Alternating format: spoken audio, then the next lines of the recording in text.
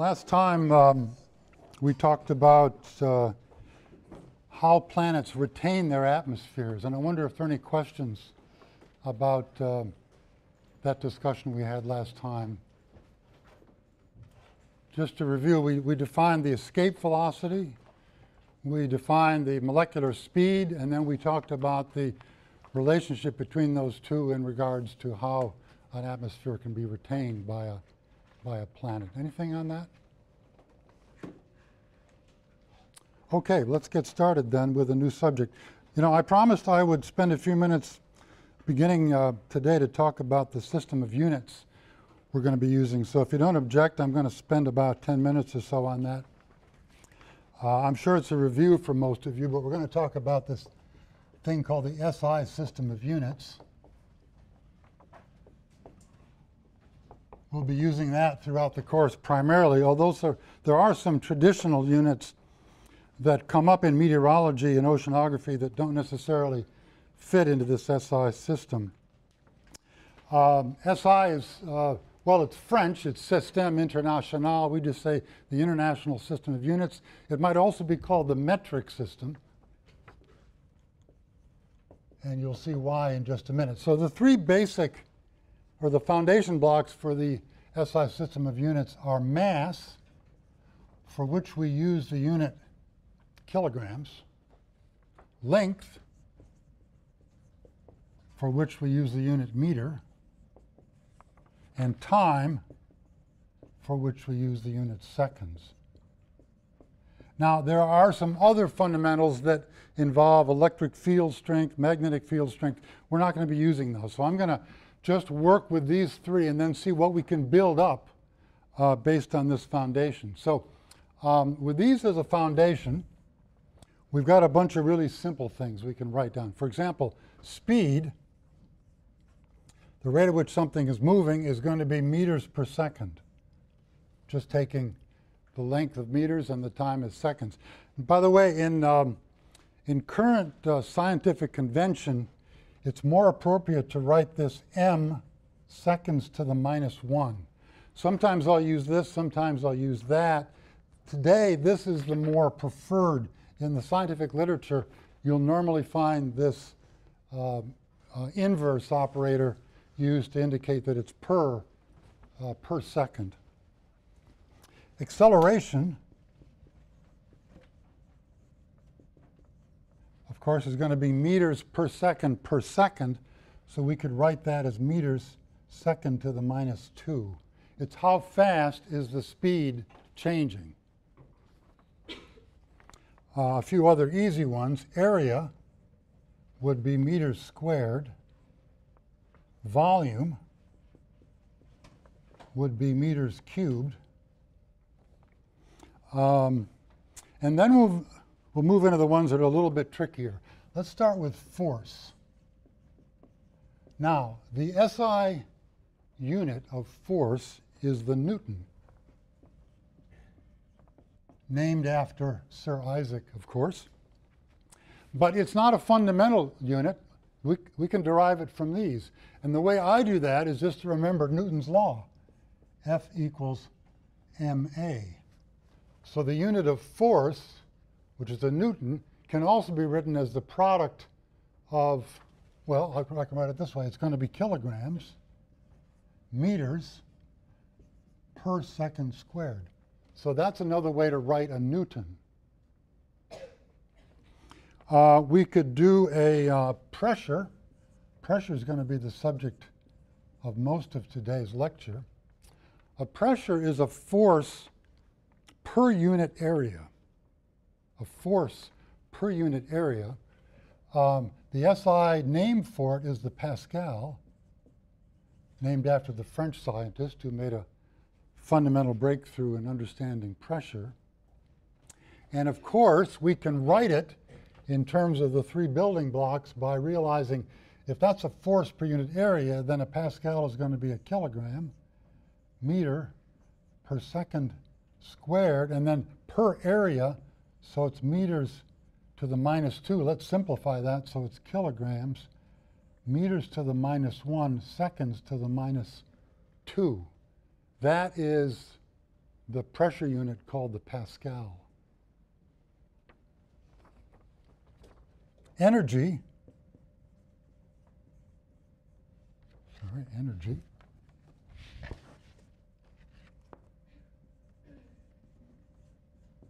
Well, the way I think of energy is that it's the amount of work done as I push something along. It's usually the product of the force times the distance. Force pushing over some distance is an amount of energy. Well, that makes it easy if you can remember that because then um, I can take the unit of force. Oh, by the way, the unit of energy in the SI system is going to be the joule. J O U L E. And of course, that is going to be uh, this times an extra distance. So it's going to be kilograms, meters squared, seconds to the minus 2. That will be a joule. Power. Well, power is the rate of expending energy. How fast are you using or creating energy? Uh, the SI system unit for power is the familiar watt. You find it stamped on your light bulbs. It's a power unit, and uh, we know immediately what that's going to be because we have energy here, but this is uh, per unit time, so that's going to be kilograms, meters squared, second to the minus 3. I've changed that 2 to a 3 to get it into um, a per unit time system. Any questions on this yet? Okay. Well, one we'll be using today also is the mass density.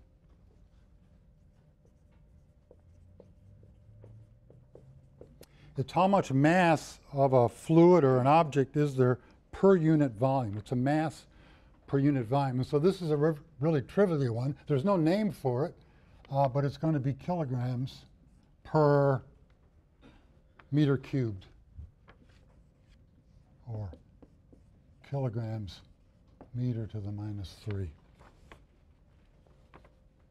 So that's not bad once you get the hang of it. And what you're going to be doing um, in this course is to be using various formulas, computing quantities, and to um, improve your odds of getting it right.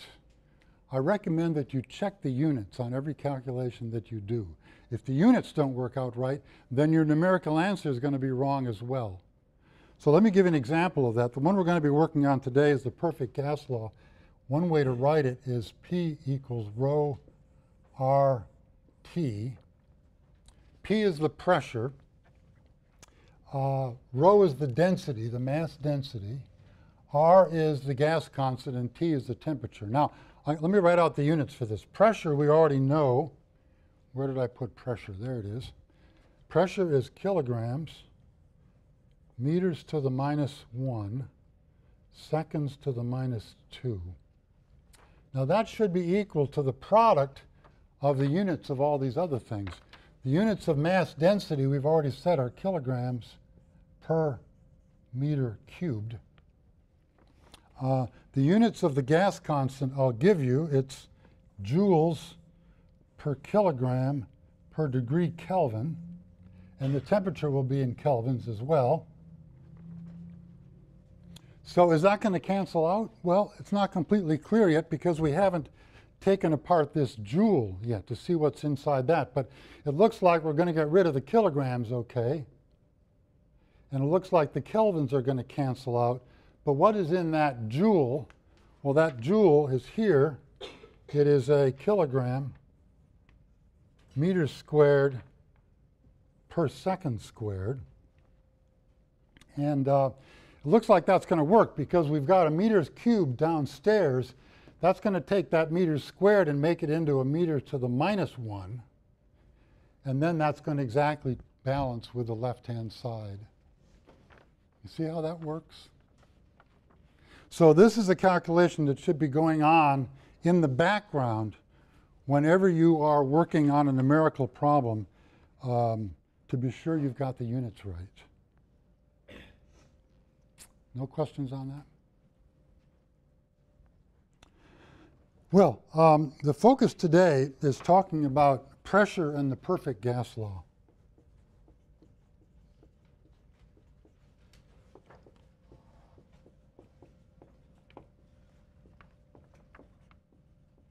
How many have seen the perfect gas law before in courses? Most of you. Okay, well, um, let's first imagine a box full of gas, molecules, but they're moving around. We know what the typical molecular speed is. They're colliding off each other, but they're also occasionally bouncing off the wall of that chamber. And every time they do that, they impart a little bit of force to the wall that they bounce off of, and that's called pressure, right? It's the repeated uh, bouncing of molecules off the side of a box that gives rise to this quantity we call pressure. It's going to depend, of course, on the number of molecules.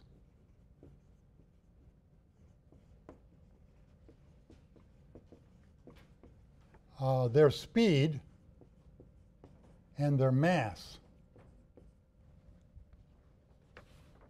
In principle, all right? At least it might, it might depend on these things. Now, um, if you've taken a course in chemistry, you probably have seen the perfect gas law written this way. Pressure times volume equals N R T.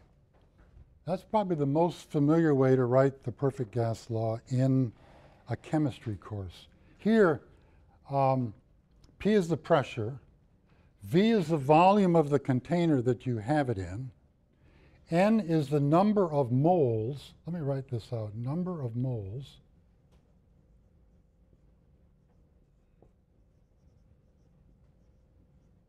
This is the gas constant.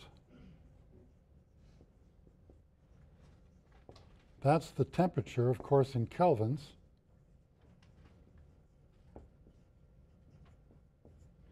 That's the volume of the container, and that's the pressure.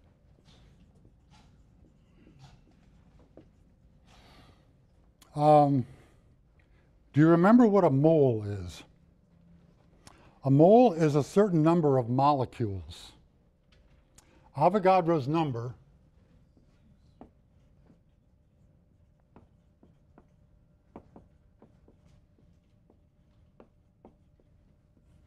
which is, if I remember, it's 6.02 times 10 to the 23 um, is the number of molecules of any gas in a mole. So uh, this would be the number of moles you have in that box. Um, the interesting thing about this formula is that it seems to be independent of the mass of the molecule. Well, I speculated that this might depend on the mass. It turns out that it doesn't depend on the mass. You would think that a molecule that has a heavier mass would impart more force as it bounces off the wall, but you may remember from last time that at a given temperature, heavier molecules move more slowly. So in fact, those two factors cancel out in the perfect gas law. So uh, the pressure you get depends only on the number of molecules that you have, not on the mass of those molecules. That's a bit of a surprise. So be aware of that. What gets a little bit confusing is that in atmospheric science, we don't use the perfect gas law in this form. So I'm going to give you the form in which we will be using it in this class.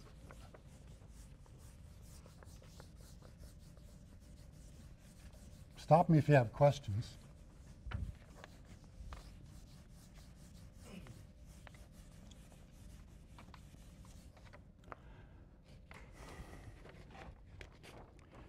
We're going to write the perfect gas law as P equals rho R T.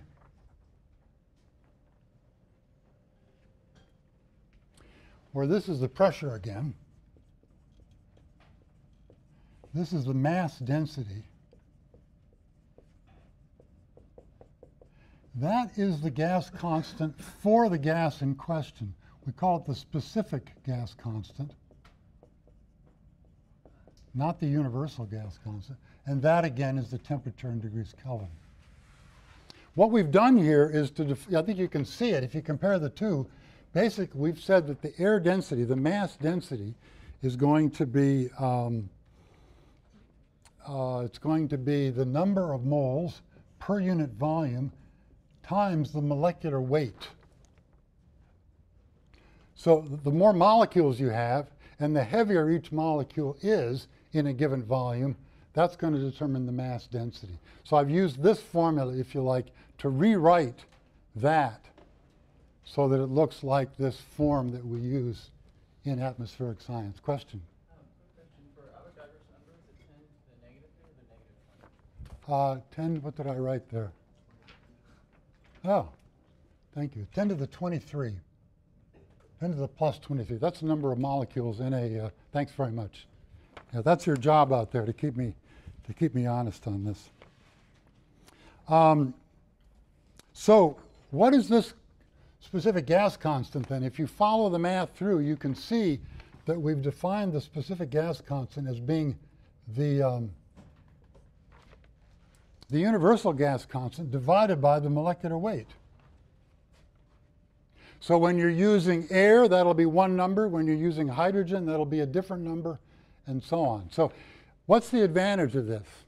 We seem like we've made things more complicated because we no longer have a universal gas constant. It's because we wanted to get at this mass density.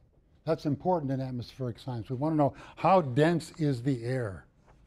And that's why we want to, we don't want to work in terms of number of molecules, we want to work in terms of the, the mass of the air. So let's do an example. First of all, for air, then, uh, let me put a subscript air there. The molecular weight, the average molecular weight for air is 29. Uh, this is 8314. And so that turns out to be roughly 287, and the units on that are joules per kilogram per Kelvin. So that's the specific gas constant for air, which is the gas we have most abundantly, of course, in our atmosphere. Let's work out a quick example of that. Let's say, and I'll try to make it somewhat similar to this room. Let's say the temperature is 15 degrees Celsius. Um, and the air density, I somehow know that 1.2 kilograms per cubic meter. What will be the pressure? Okay, well, first of all, we have to convert this to kelvins. So it's going to be 15 plus uh, 273.1. That's going to be about 288.1. And then we're ready to plug it into the formula. It's going to be, um, so 1.2 times uh, 287 times 288.1, and that is comes out to be 99221.7 pascals. The unit on that is going to be pascals. 1.2, which is the air density. The specific gas constant 287, and the temperature expressed in kelvins 288.1. Questions on that? Now, what good is this? Um, this is a very useful formula, but it's not as useful as one might think in every application. First of all, for air, we can take that as known. But in general, as you move around the atmosphere, the other three things will be changing. And so if I know one of these, like temperature, well, that formula is pretty useless because I don't know either of the other two. So this formula is best used when you know two of those quantities and need to get the third. For example, if you knew density and temperature, that would give you pressure. If you knew pressure and density, you could solve that for temperature and so on. So it's useful, but it's not everything we would like. Question? It's going back to the pascals. Do you want us to express it in pascals or kilograms per meter cubed? For pressure, you should express it in pascals, or what is sometimes a, a more um, frequent unit in, in meteorology is a millibar. millibar, which is sometimes written as a hectopascal, which is one one hundredth of a pascal. So this would be 992.217 uh, hectopascals. In the meteorological literature, you'll often find hectopascals used instead of pascals. It's easy to do the conversion. Just divide by 100 if you're going that way, or multiply by 100 if you're going that way. Okay, now, um, but there is an application, a direct application for the perfect gas law that I'm going to show you now that is really of fundamental importance for how the atmosphere works. And so I'm going to go through this a little carefully because it is something we'll be needing over and over again in the course. And um, you know, there's a very simple idea that I'm sure you are aware of, and that is warm air rises and cold air sinks. Uh, I'd like to actually uh, prove that to you. It seems like kind of a trivial thing, but I'd like to prove that to you. Um, and to do that, I'm going to have to define something called the buoyancy force.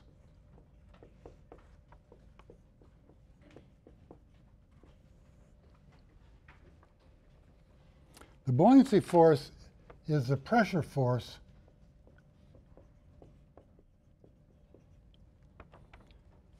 on an object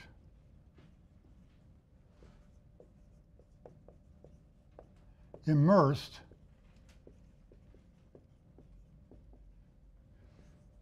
in a liquid or a fluid in a gravity field.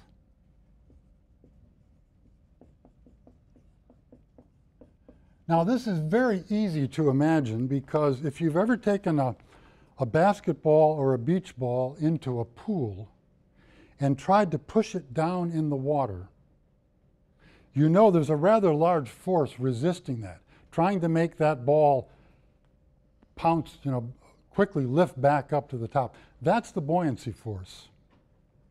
And um, for example, here's the, the top of the water. There's your basketball or your beach ball. You're trying to hold it down there with your hand. There's something very strong pushing it up. What's pushing that ball up? What's the physics of that? Anybody? What's pushing that ball up? Yeah. Yes, but how does it work? In the back? Is it because the ball is like less dense than the water? The ball is less dense than the water, but I'm looking for a more detailed mechanism, yes. Um, the same amount of uh, force as the weight of the displaced water. Yes, but actually, how does it act? I mean, what's, what's, what's the physics? How is it being acting on that ball?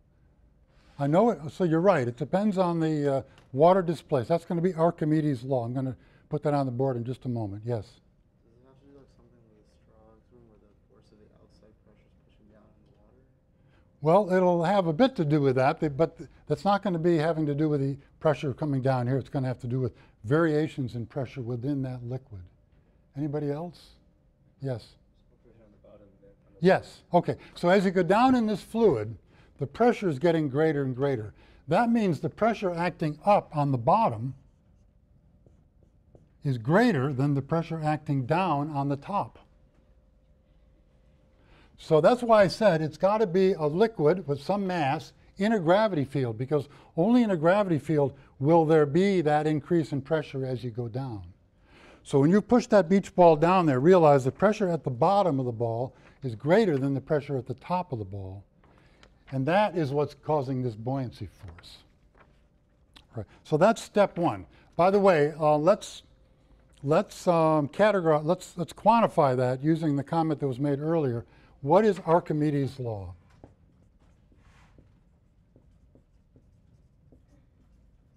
Archimedes' law said that that buoyancy force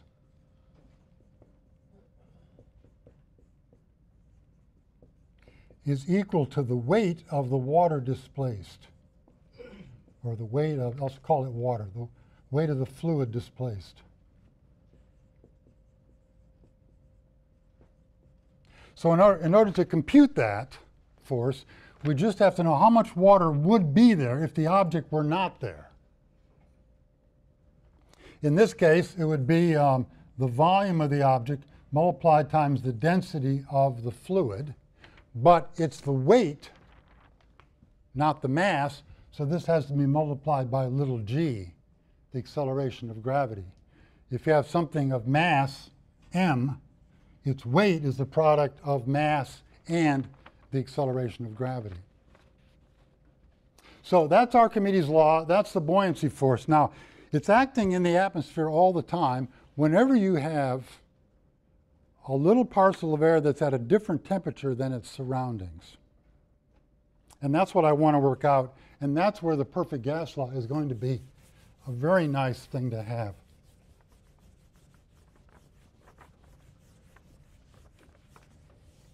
So I've worked out an example here. I've uh, imagined a little piece of air, maybe it's about this big.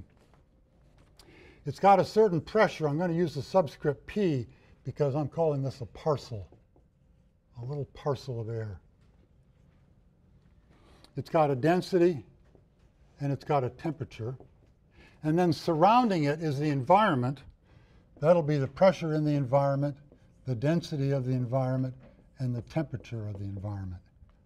And my goal is to find out the buoyancy force acting on that, uh, on that parcel. I want to know if it's warm, is it going to rise, is it going to sink, and so on and so forth.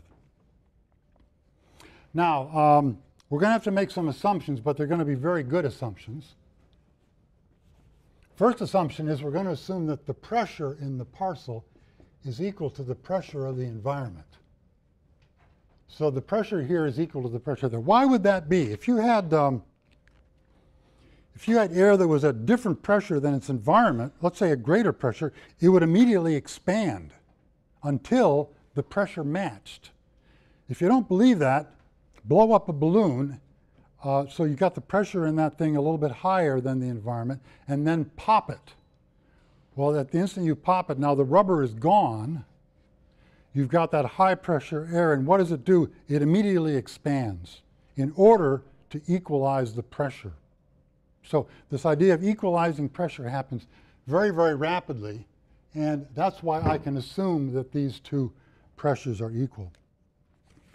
Um, let me um, put in some numbers to this. Let's say that these pressures are equal to 80,000 pascals.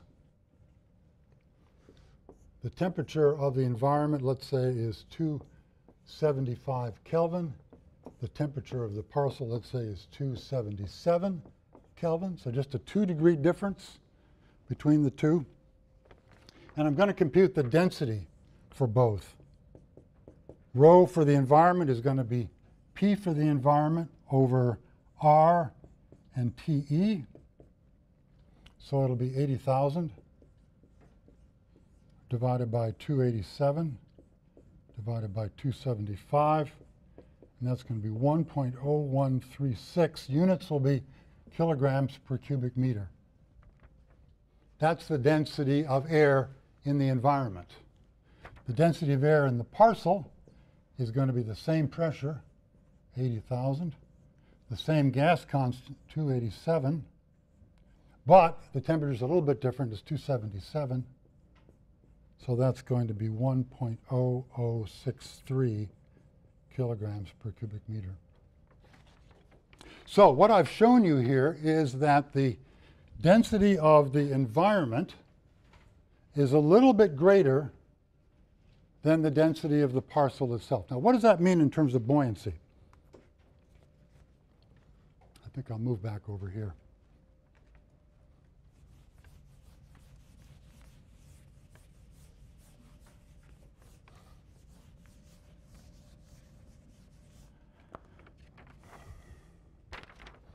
Here's my parcel. The gravity force pulling down on that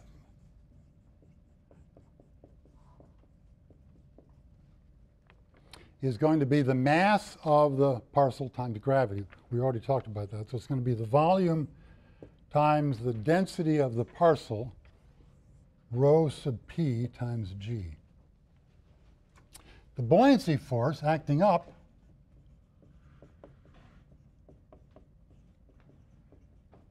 is going to be the volume. Well, we're, we're using Archimedes' law now, so it's going to be um, this quantity here. It's going to be the volume again times the density of the environment. That's the fluid that's been displaced times g. Well, now you can see immediately what's going to happen here. The v's are the same for both, g is the same for both, but the densities appear differently. The down force is related to the density of the parcel. The up force is related to the density of the environment. In our case, the density of the environment is less. So, um, is that right? Greater. So um, this one is going to be a little bit less. That's going to be a little bit greater, and the net buoyancy force is up. So what I've proven here is that um, a parcel of air, if it's equilibrated its pressure with the environment, is going to be less dense. Therefore, it's going to have a buoyancy force that's going to make it rise.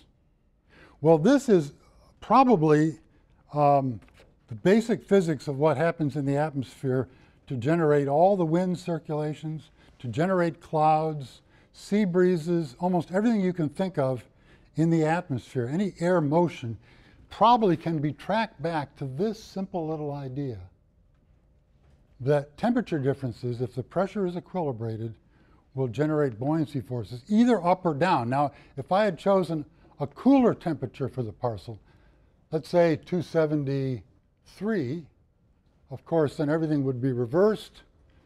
The parcel would be denser than the air. This vector would be larger than that one, and the parcel of air would sink. So it works, it works both ways. Now, this is a tricky argument, a number of steps. So I'd be pleased to stop for a minute or two and take questions on this. Yes? So it equalizes pressure kind of at the expense of equalizing temperature. That's right. So that, that's a very good question. The question is, why does it equalize pressure? Why doesn't it equalize temperature or density? Well, there are different quantities, right? Pressure is a force per unit area, and that's the thing that wants to equalize. There's no quick process.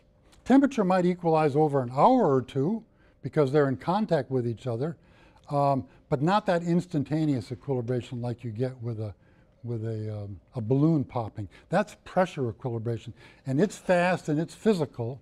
And the other two either are slower or just there's no tendency for that at all. But that's right. That's the key part of the argument, isn't it? That of these three quantities we're talking about, the pressure wants to equilibrate, but the other two do not. And that's what leads, leads rise to the whole concept of buoyancy, warm air rising, cold air sinking. It all comes from the way the pressure equilibrates. That's key. Other questions on this? Anything? Okay, well, that went through pretty quickly. I wanted to, um, oh, wait, let's do another example. I want to do another example because, um, yeah.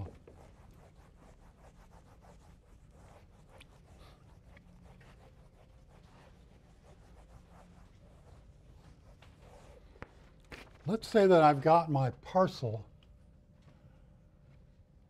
okay, but, um, and everything's defined as before. But um, now I've got, uh, let's say, what did I use? I've got helium in here. Helium. And I've got air out here. The pressures are equal. In this case, I'm going to say the temperature are equal as well. But are the densities equal?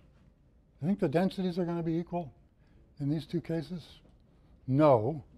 Um, and let's see how that's going to work out. The, um, the density of the environment is going to be the pressure of the environment um, with the gas constant for air, right? 287. And then the temperature of the environment. The density of the parcel is going to be pressure of the parcel over, now let's see, what's going to be the gas constant for helium? Uh, 8314 divided by the molecular weight of helium, which you recall is 4. The gas constant for helium is about 2079.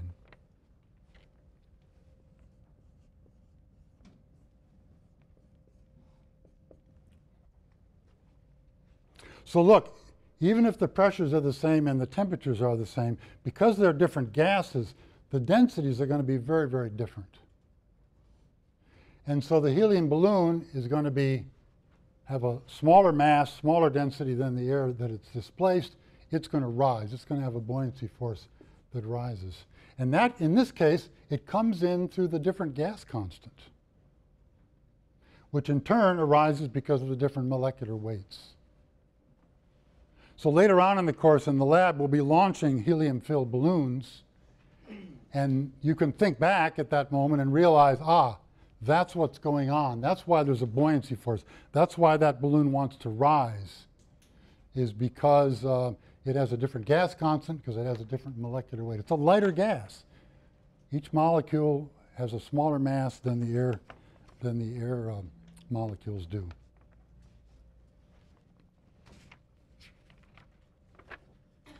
Any questions there?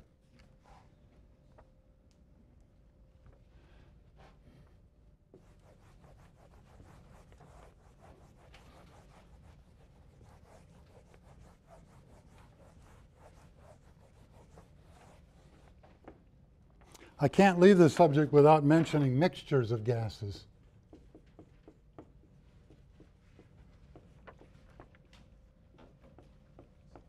So we imagine this same box, and it's got some A molecules, and it's got some B molecules, and they're all bouncing around off the walls and so on. There's a mixture of gas A and gas B. What is the deal there? When you mix two gases together, what relationship do they have to each other? Um, I can tell you pretty clearly what's going to happen. The temperatures are going to quickly equilibrate. Even if the masses are different, because they're bouncing into each other uh, frequently, thousands of times per second, the temperature in the A, of the A and B molecules will quickly come to the same value. The pressure is additive. In other words, we can define the pressure that the A molecules are making, we can call that PA. And the pressure that the B molecules are making, that's PB. And the total pressure P total is just the sum of the two. So we talk about, we use this term partial pressure. Partial pressure of A, partial pressure of B, and they add up to give the total pressure. So for example, if the pressure in this room, let's call it P total for the moment, is about 1,013 millibars, or that is to say 1,013 with two more decimal places pascals, Part of that is due to the nitrogen molecules. That's the partial pressure of the nitrogen. Part of it's due to the oxygen molecules. Part of it's due to the argon. There's also some water vapor in this room. The water vapor is contributing something to that total pressure. So when you're measuring pressure in a gas, you're measuring the sum of all the pressures of the components within that gas. Um, usually we don't need to know that, but occasionally that's the way we keep track of how much of these other gases you have. Someone might say, well, the partial pressure of water vapor is three millibars today or something like that. That's the contribution water vapor is making to the total pressure on this particular day. So it's a useful quantity. Let me um, remind you what the atmospheric composition is for our atmosphere.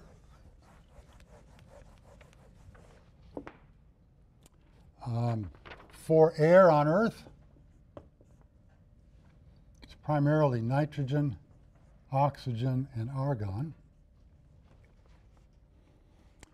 Um, I'm going to give you the number two ways. By volume, which is what the chemists say.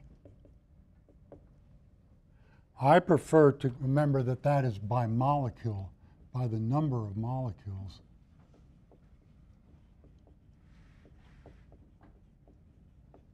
And I'm going to also give it to you by mass.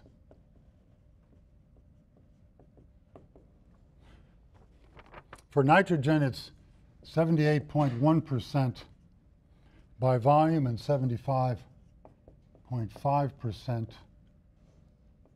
by mass. In other words, 78% of the molecules in this room are nitrogen, but 75.5% of the mass of the gas in this room is, is the nitrogen. Oxygen 21.0 and 23.2, argon 0.9% and 1.3%. Just remember there's this difference because the molecules have different masses. Some are heavier, some are lighter. So whether you've counted up the molecules and are representing the, the fraction that way, or whether you're counting up the masses, you're going to get slightly different numbers um, for the two. Now I've chosen, and, and everyone, and the convention is to define that part as being the air because these proportions are constant everywhere you go in the atmosphere. If I go to the North Pole, the equator, the South Pole, if I go high in the atmosphere, winter or summer, these proportions are unchanging. So we call that air.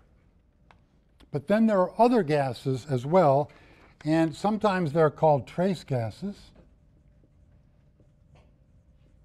Sometimes they're just called variable gases. They're found in varying proportions depending where you are.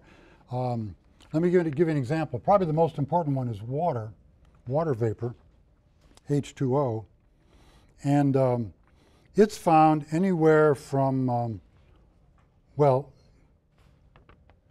from let's say um, one part per hundred, 10 to the minus 2, to really as small as you want to go, maybe 10 to the minus 5 um, by volume. CO2, another very important gas, is um, more thoroughly mixed, but not perfectly mixed. A typical value these days might be about 395 parts per million by volume, ppmv. So we're using this method, we're counting molecules. I can write that as 395 times 10 to the minus 6 um, by volume.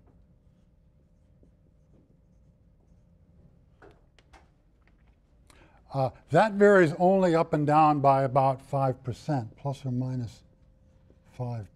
So that's nearly well mixed, but not quite as thoroughly mixed as these gases within the, within the atmosphere, within the air.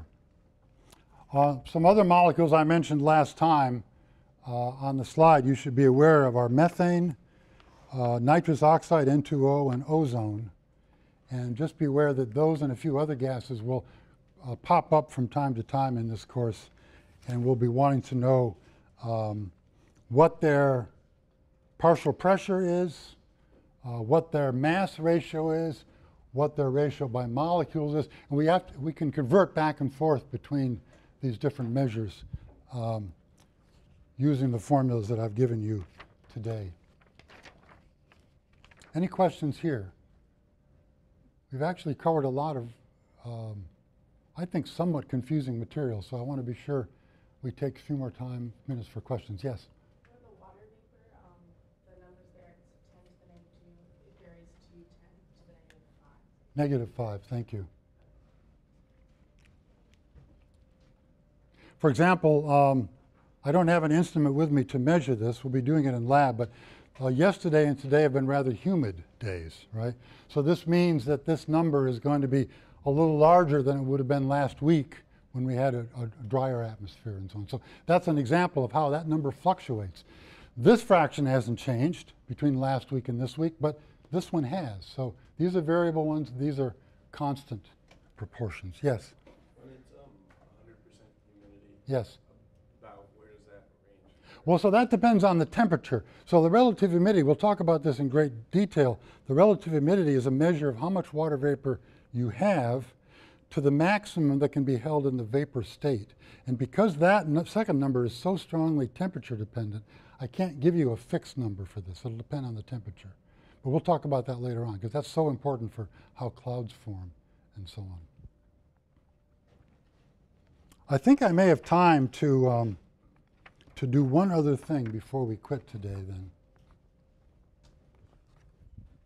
And that's to talk about how density and pressure change with altitude.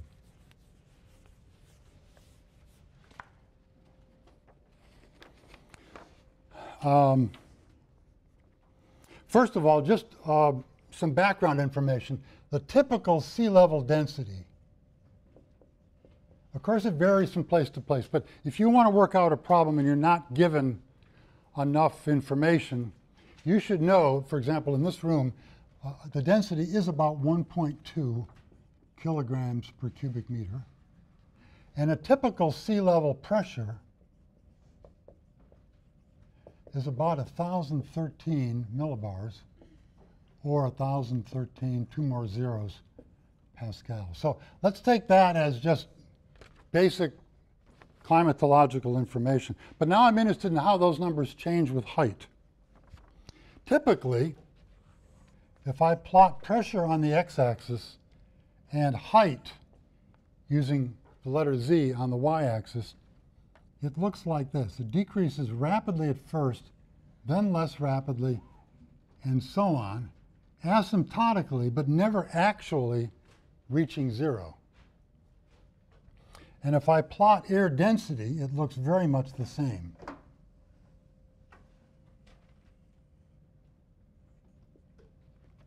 It's such a simple relationship that um, we'd like to be able to have a formula for it. And there is a nice one. We have to make an approximation, though. We have to assume that the temperature is approximately constant with height. Which is not a very good approximation. But we're looking here just, just to get a, a rough, maybe an estimate at the 10% level or the 20% level, something in that range.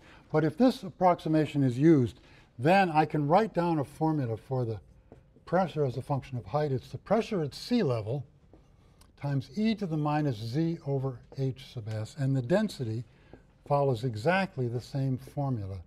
The density at sea level rho sub SL, I'm using Greek letter rho for density, e to the minus z over h sub s. Now, if you're familiar with this exponential function, you would have already recognized it here. This is the, the, uh, the uh, behavior of the exponential function. It drops rapidly at first and then more slowly as you go on. Um, this thing is called the density, or the scale height, sorry, the scale height for the atmosphere.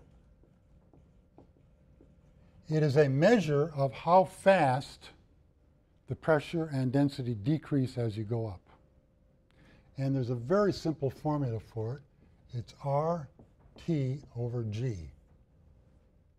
The gas constant times the temperature divided by the surface gravity. Let's work it out for Earth. Air has a gas constant of 287. Let's take 288 for the uh, temperature of the air and 9.81 for the acceleration of gravity. That turns out to be approximately 8,400 meters. Every time you go up 8,400 meters, um, you tick off another fractional decrease in atmospheric pressure and, and density. Uh, we just have um, a minute left, so I can do a quick example of this.